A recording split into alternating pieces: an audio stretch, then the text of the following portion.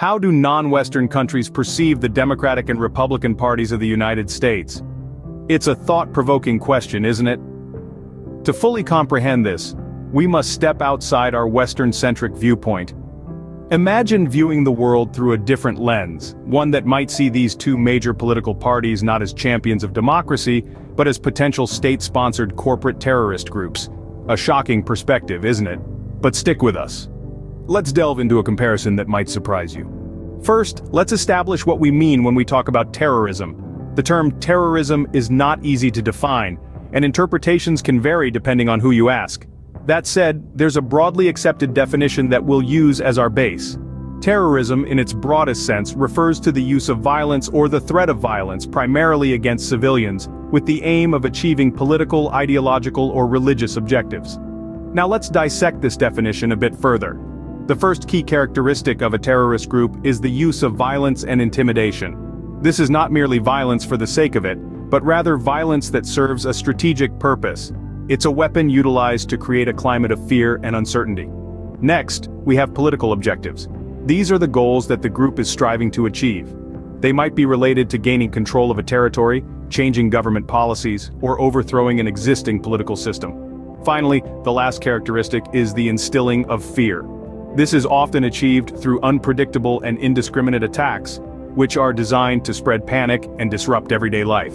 The ultimate goal is to force a change in behavior or policy through fear. Now let's see how this definition might apply to the Democratic and Republican parties. Let's start with the Democratic Party. In the realm of international relations, perception is often reality. And the actions of the Democratic Party have at times been perceived as violent or intimidating by non-Western countries.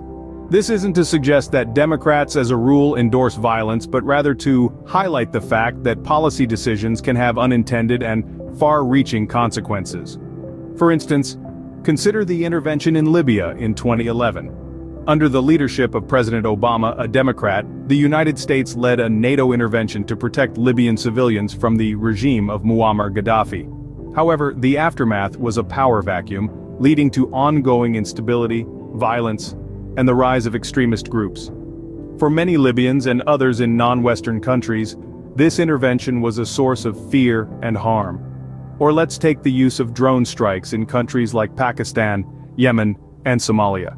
Under democratic administrations these strikes have been used as a tool to combat terrorism. However, civilian casualties and the constant fear of these unseen weapons have sparked widespread criticism and resentment. Moreover, economic policies can also lead to perceived harm. For instance the imposition of sanctions, often used as a diplomatic tool, can result in severe hardship for the common people in the targeted nations.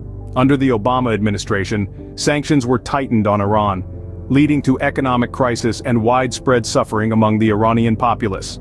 These examples are not meant to single out the Democratic Party, nor to suggest that their intents were malicious. But they do show how the actions of a political party guided by its own national interests and international obligations, can lead to fear, harm, and resentment in other parts of the world. In this light, it's not hard to see why some might perceive these actions as a form of state-sponsored corporate terrorism. After all, one person's freedom fighter can be another person's terrorist. So, from a certain perspective, these actions might be seen as a form of state-sponsored corporate terrorism. Now, what about the Republican Party? Just as we've explored with the Democrats, there are several instances where the actions of the Republican Party have been met with fear and suspicion in non-Western nations. This is not to say that the party itself is inherently violent, but rather, that their policies and actions can sometimes lead to harmful outcomes. Let's take a look at a few examples. Under the administration of George W. Bush, the United States launched the Iraq War in 2003. This military action, justified under the premise of disarming Iraq of weapons of mass destruction, led to the displacement of millions and the death of hundreds of thousands of Iraqis. The war caused significant destruction and instability in Iraq, and its consequences continue to reverberate today. Moving forward, under the presidency of Donald Trump, the United States withdrew from the Iran nuclear deal, a move that escalated tensions between the two countries. The decision, seen by many as a show of power and intimidation, led to a series of events culminating in the assassination of Iranian General Qasem Soleimani. This act of violence was met with shock and fear in many non-Western countries particularly in the Middle East. In the realm of economic policy the use of sanctions as a tool for diplomacy has also been criticized. While sanctions are intended to pressure governments into changing their behavior, they often result in widespread suffering among the civilian population. For instance, the sanctions imposed on North Korea have led to food shortages and economic hardship for ordinary citizens. Each of these examples illustrates actions that, while sanctioned by a government, have resulted in fear, harm, and sometimes, widespread violence. These are actions that, under certain lenses, could be perceived as acts of state-sponsored corporate terrorism. Again, from a certain perspective, these actions might be seen as a form of state-sponsored corporate terrorism. Having looked at the two parties, let's compare their actions to those of recognized terrorist groups. Let's start with the similarities. Recognized terrorist groups like Al-Qaeda or ISIS use violence and fear as tools to achieve political ends. In a similar vein, both the Democratic and Republican parties have been accused of using fear to advance their agenda. This fear can be seen in the form of war rhetoric or scare tactics during election campaigns. Furthermore, both recognized terrorist groups and these two parties have been known to exploit social divisions for their own gain. Whether it's class, race, or religion, these entities have used such divisions to rally support and demonize the other. On the other hand, there are significant differences that must be acknowledged. Recognized terrorist groups often employ direct physical violence to achieve their goals. They are not shy about using bombings, shootings, or kidnappings to instill fear and chaos. On the contrary, the Democratic and Republican parties, while often employing aggressive rhetoric, do not resort to such direct physical violence. Moreover, recognized terrorist groups operate outside the boundaries of international law, while the Democratic and Republican parties function within a democratic framework. These parties, though often involved in contentious politics in principle, can held accountable by the electorate and the rule of law. While it's important to draw these comparisons, it's equally crucial to remember that the context differs vastly. Recognized terrorist groups operate in areas of conflict and instability, while the Democratic and Republican parties operate in one of the world's oldest democracies. In conclusion, while there are certain similarities between the actions of the Democratic and Republican parties and recognized terrorist groups, there are also key differences. The comparisons we've discussed should not be used to label these parties as corporate terrorist groups, but rather to highlight the complexity of political actions and their consequences.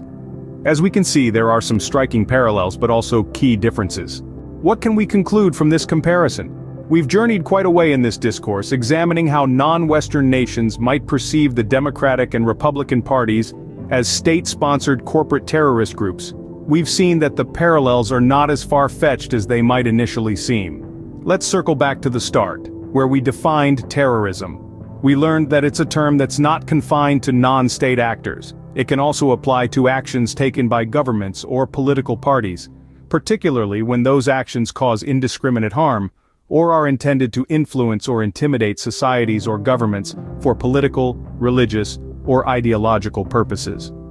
We then delved into the actions and consequences of both the Democratic and Republican parties. We highlighted instances where their activities both domestically and internationally have resulted in significant harm or distress to communities. These actions have often been justified in the name of national security or political ideology, but to an outsider looking in, they might appear as acts of terror. Drawing parallels with recognized terrorist groups, we saw that the methods employed by these political parties aren't entirely different.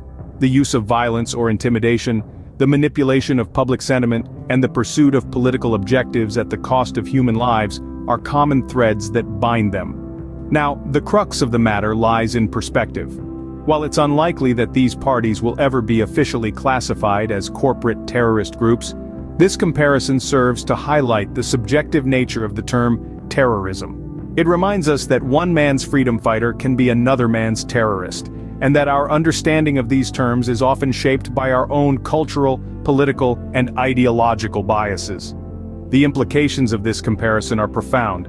It invites us to question our preconceived notions and biases, and to view global politics through a broader lens.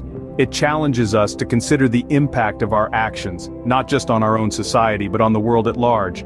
It's clear that our understanding of terrorism might need to be broadened, and that perceptions can vary greatly depending on perspective.